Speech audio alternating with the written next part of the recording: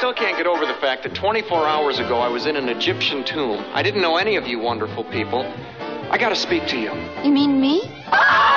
Tom Baxter's come down off the screen and he's running around New Jersey. How can he come off the screen? It's impossible. It's never happened before in history. In New Jersey, anything can happen. Come away with me to Cairo. Cairo. But you just met each other.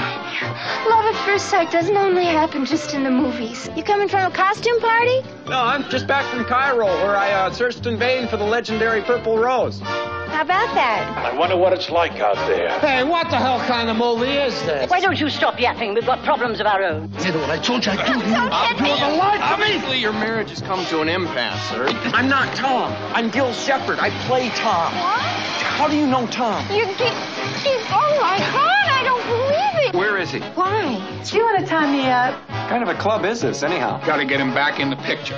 Then we turn off the projector and burn the prints. And the negative. See, there you go, Tom. You're ruining everything. You are. You're the one. I saw the movie just last week. This is not what happened. I'm confused. I, I'm married. I, I just met a wonderful new man. He's fictional, but you can't have everything.